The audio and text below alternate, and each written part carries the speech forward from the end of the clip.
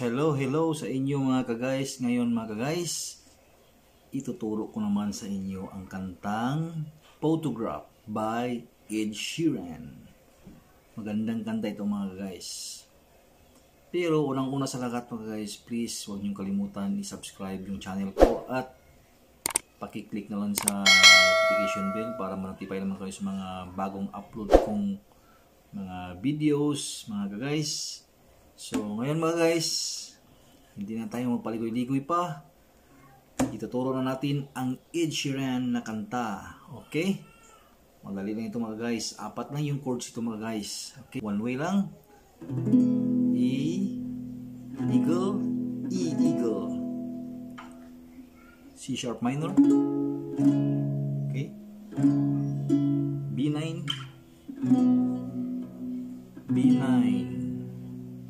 Saka E.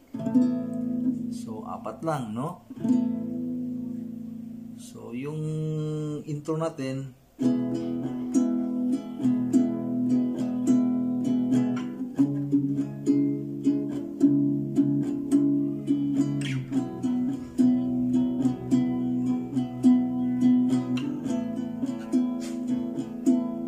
Okay? Kuha guys? So, yung unang chord, E.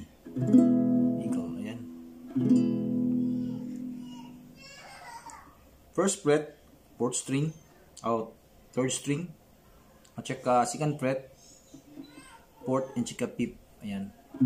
Simple lang, chords. Tapos, C sharp minor. Yung mga baguhan dyan na hindi pa makaano dito, nahirapan pa nito, madali lang to. Ganyan lang guys, ganyan na, i-clip nyo lang. Tapos ganyan. Parang walang, wag mong bigyan ng, wag nyong bigyan ng tension. Parang ganun lang. Tapos, palapit dito sa fret bar. Wag nyong dito. Dapat malapit sa fret bar para maganda yung tunog. Ganyan. Okay, oh, ganyan lang. Simple lang, ganyan. Okay? C sharp minor. Tapos, B9. Ayan, B9. Okay, B. Open yung second at saka first string. Pwede din ito. Yung kanina, yung C sharp minor, i-open nyo yung ito. Yung first string, pwede nyo i-open to. Tapos, B9. Open.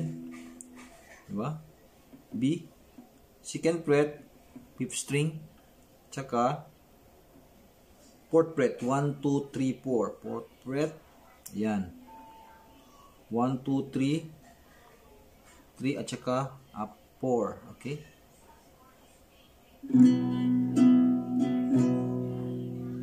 Tapos, A9. Ayan.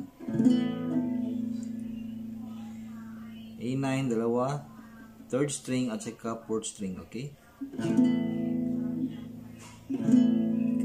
Yun lang yung intro natin.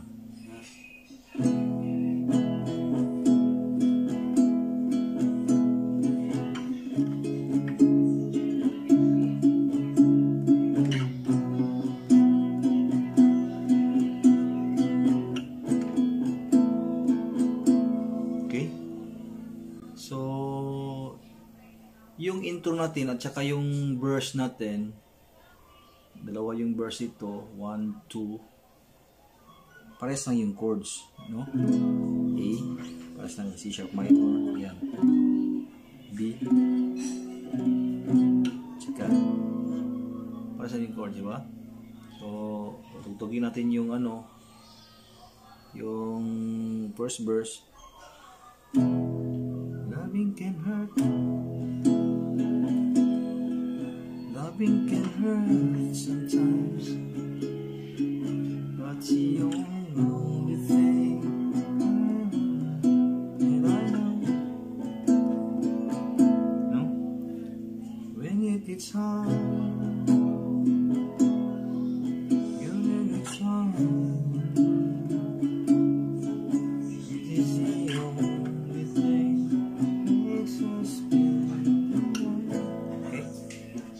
guys. Yung verse natin at saka intro, parehas lang, di ba? Okay. So ngayon, yung pre-chorus na naman, madali lang yung pre-chorus.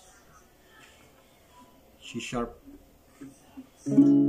C sharp minor. Binaliktad lang, C sharp minor. Tapos A9. Tapos B9. B9. Tapos balik sa C sharp. Tapos A9. Tapos balik sa E. Tapos balik sa 9, uh, B9. Okay? Ilan, di ba?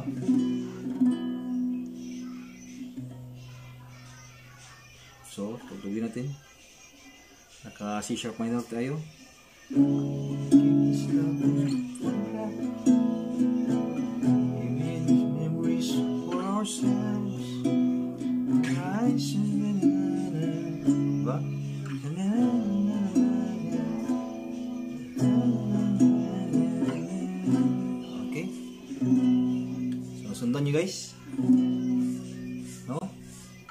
sharp.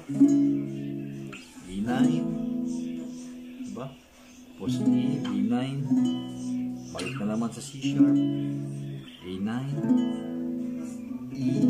Tapos B9. Okay? So, tuloy-tuloy na yan guys. Pagdating na yun sa puros, so you can keep me. E. You can keep D.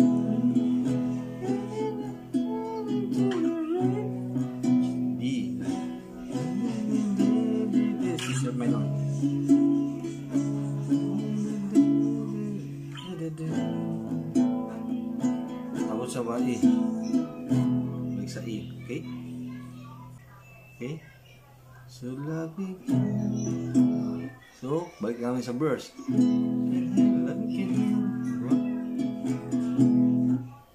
So nakuha nyo yung ano, yung chorus guys. Da da da da da.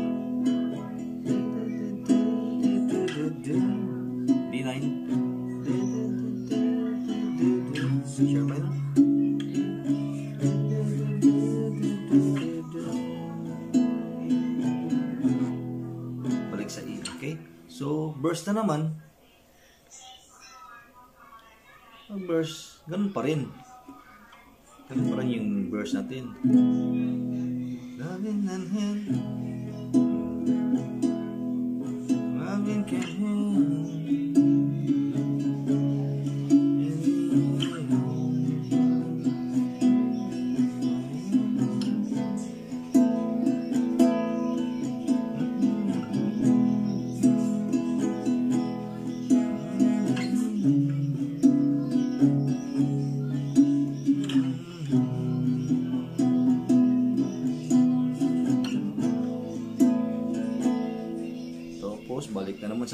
pre-chorus, yung kanina.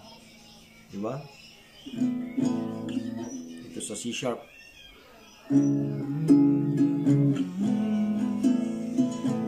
We made these memories for ourselves. And my eyes are never closing. Our hearts are never.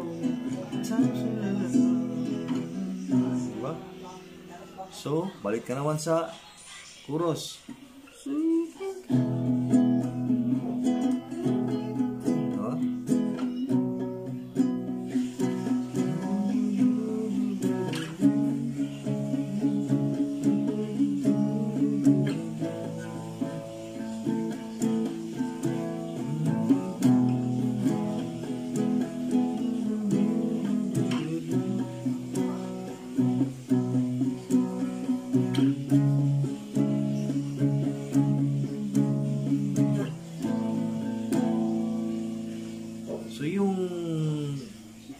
Nito mga ka-guys, madali lang pag alam mo yung kanta, tapos nagagandahan ka sa kantang ito.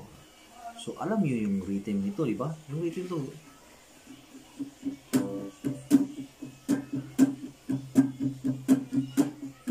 Di ba? Tak tak tak tak tak tak tak tak tak tak tak Di ba?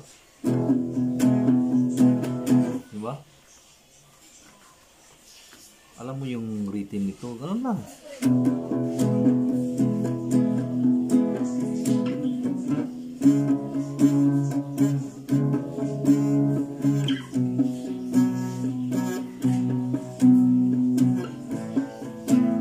Diba? So, yung adlib kanina sa parang bridge niya, pabalik-balik lang yun. Si sharp minor yun. Sundan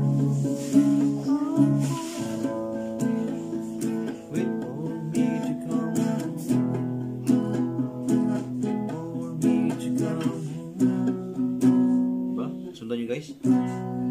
Apat yun, no? wait for me to come home, di ba? Si sharp minor yan eh.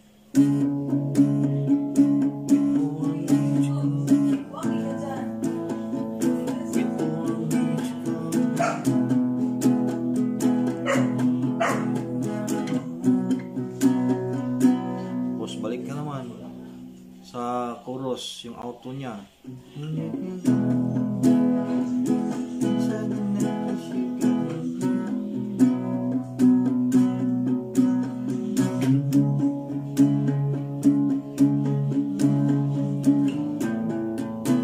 So, balik-balik lang yung mga chorus mga guys. Madali lang. Tapos yung outro. A, equal.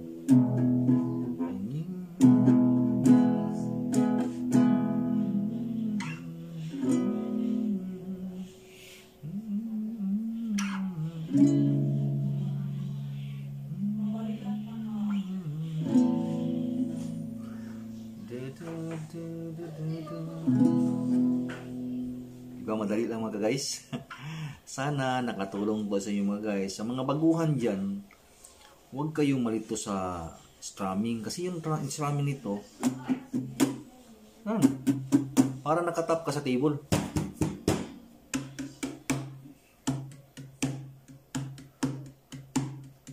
Ano lang. O, diba? Tapos yung bar chord, kasi marami mga baguhan dyan na nahihirapan nito. Malali lang ito mga guys, ganyan lang.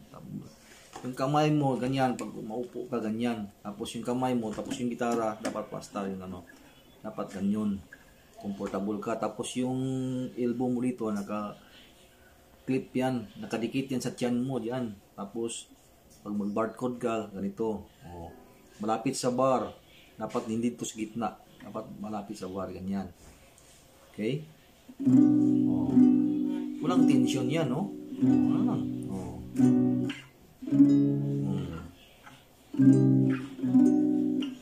Kasi yung bar chord, importante yan. Kasi para matugtog mo yung F, F sharp, G, G sharp. Diba? Sa lahat ng chord, matugtog mo. Diba? So, importante yan. So, sana ah, nakatulong to sa inyo at sa lahat ng mga sumusuporta dyan. Salamat sa inyo. God bless sa inyo lahat. Okay? So, babu!